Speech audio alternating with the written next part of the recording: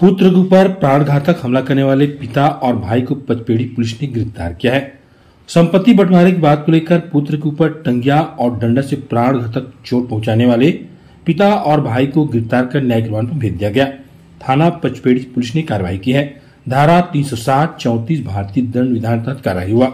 इस मामले पर प्रार्थी दिलीप केवाट पिता रामचंद्र केवाट उम्र 35 साल, निवासी कुकुर्दी केरा ने थाना में रिपोर्ट दर्ज कराया था।